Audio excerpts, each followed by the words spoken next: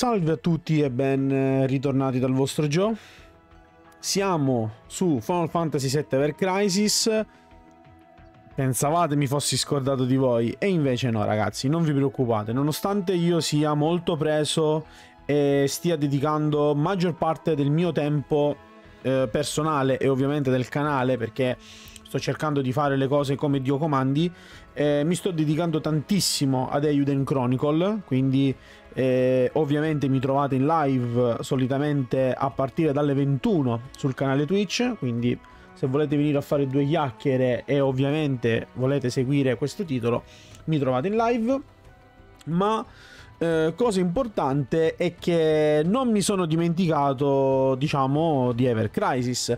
È vero che Ever Crisis comunque sia ha uh, dei tempi molto dilatati, perché essendo comunque un gacha e, ed essendo comunque uh, un gioco che non rilascia eventi tutti i giorni, mi permette comunque di potermici dedicare un po' per volta anche durante uh, stracci di tempo libero. Ehm per quanto riguarda ovviamente le notizie che sono state aggiunte sia ieri, primo maggio, e ovviamente oggi, 2 maggio, eh, ho voluto necessariamente aspettare perché le volevo commentare insieme a voi, ma ne volevo commentare una in particolare, che penso sia la notizia più importante eh, che commenteremo in questo video.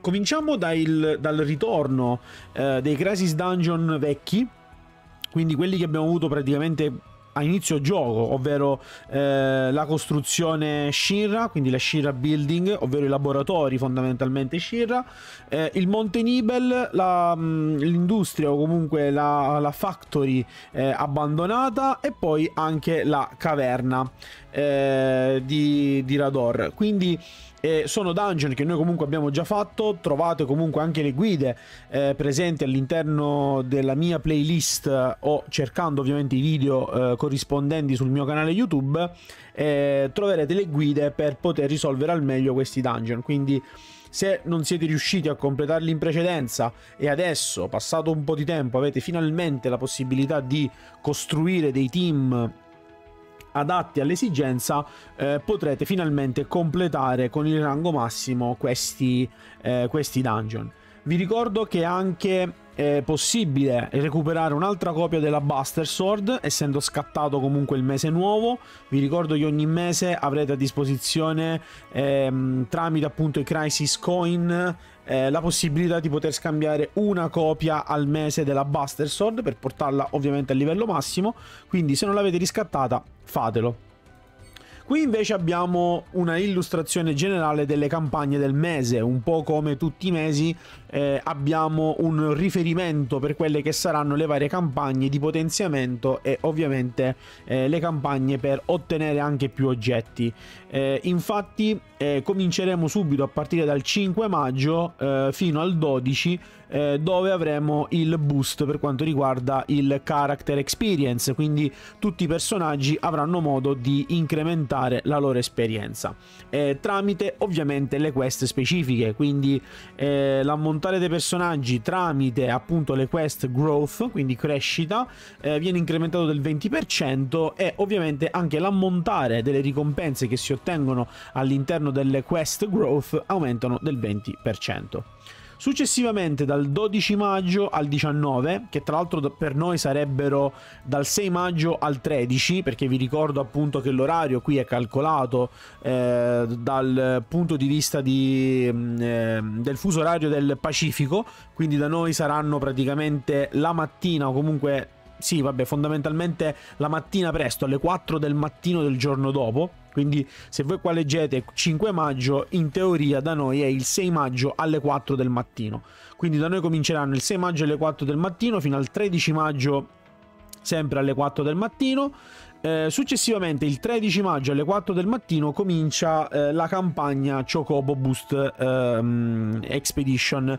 Quindi, tutte le spedizioni che effettueremo con i Chocobo eh, avranno la possibilità di ottenere il 20% di drop rate in più per quanto riguarda gli oggetti e anche il 20% in più di esperienza eh, del personaggio affiancato al Chocobo in questione.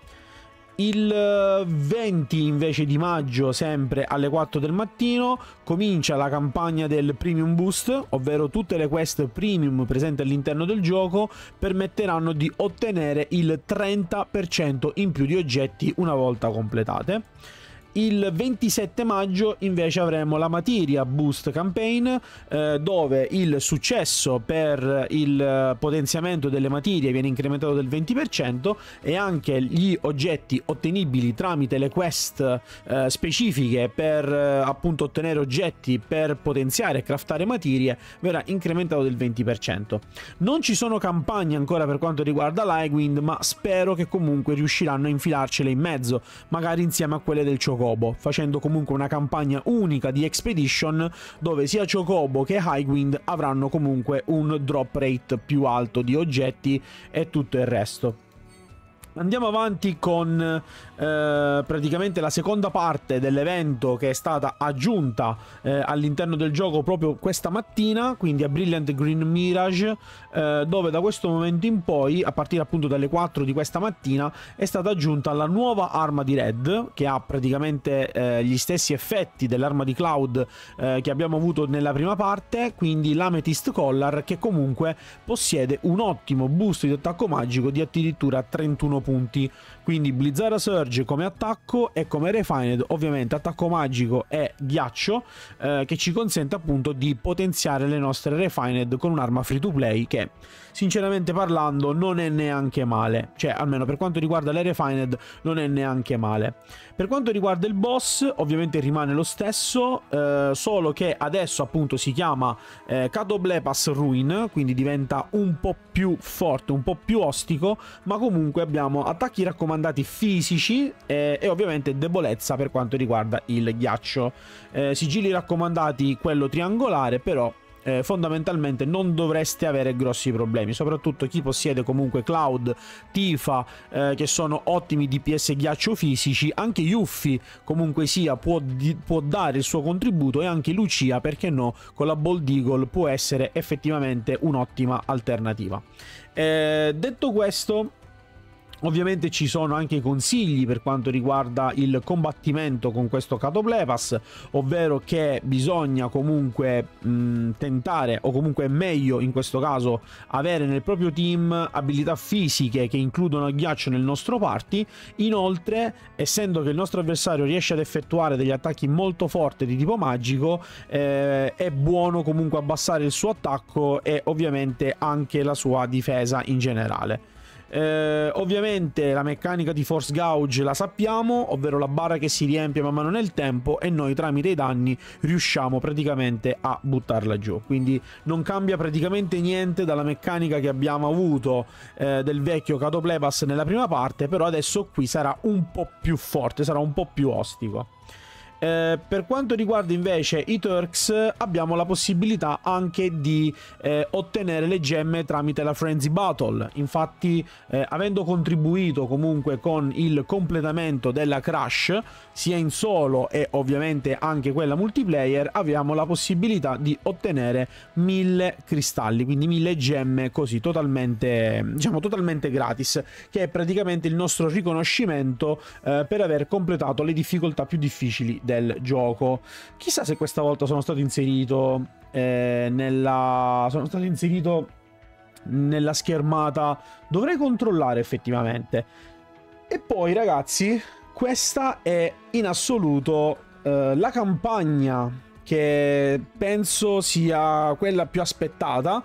Lo avevamo già previsto, lo avevamo già nell'aria, era da mesi che comunque ne parlavamo, era da mesi che erano stati anche liccati degli aggiornamenti, ma finalmente a quanto pare Leviathan sarà presente all'interno del gioco anche grazie magari a Final Fantasy XVI, no? Con The Rising Tide, che è riuscito un pochettino ad hypare la figura di Leviathan, adesso abbiamo la possibilità di riceverlo anche all'interno di Ever Crisis.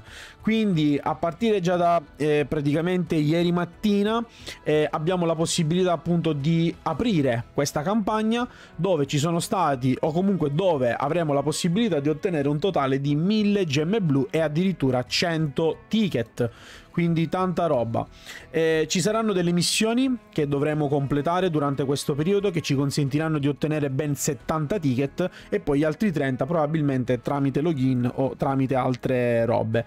Ehm, quindi diciamo le missioni, ecco, infatti poi tramite il countdown abbiamo la possibilità di ottenere 1000 eh, gemme blu e altri 30 ticket, proprio per un totale comunque di 100 ticket e poi eh, le 1000 gemme che però in questo caso sono contate nel periodo di login.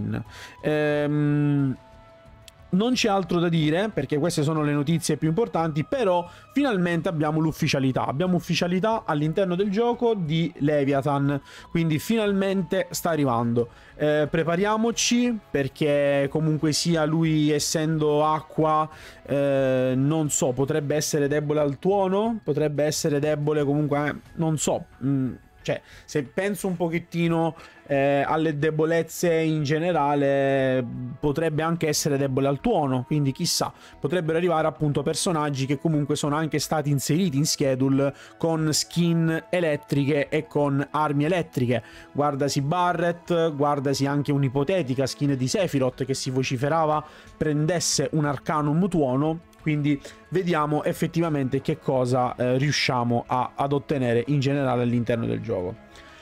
Detto ciò non c'è altro di cui dobbiamo parlare, eh, l'unica cosa che facciamo insieme, andiamo a vedere se nella, mh, mm, qui, se nella Frenzy Battle, così giusto per flexare un attimino, eh, sono stato inserito eh, nel... Um, sono stato inserito allora, qui no di sicuro, perché questi qua sono probabilmente quelli che l'hanno completata prima quello che è.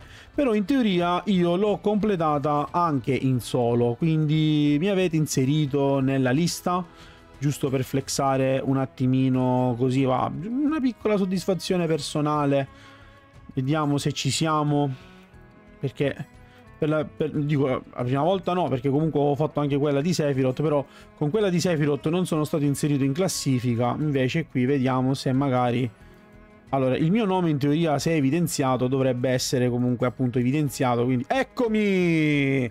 Yes! Sono stato inserito anche nella solo Uh, piccola soddisfazione personale, dai, niente di, niente di così scandaloso, però sì, sono, eh, sono contento eh, che sono stato inserito nella classifica eh, della, della, solo.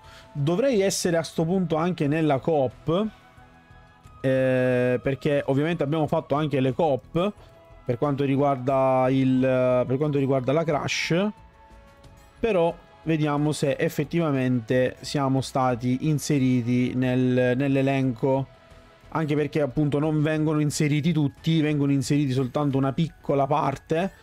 Eh, nella sola addirittura vengono inserite solo 500 persone quindi immaginate eh, quante in realtà siano poche rispetto in teoria a quelli che dovrebbero essere i giocatori, eh, mentre invece vedete nella multiplayer eh, non sono stato inserito perché ovviamente la multiplayer è stata completata da molte più persone. Però sono contento perché almeno nella solo ho la possibilità di poter avere un piccolo flex, un piccolo riconoscimento personale.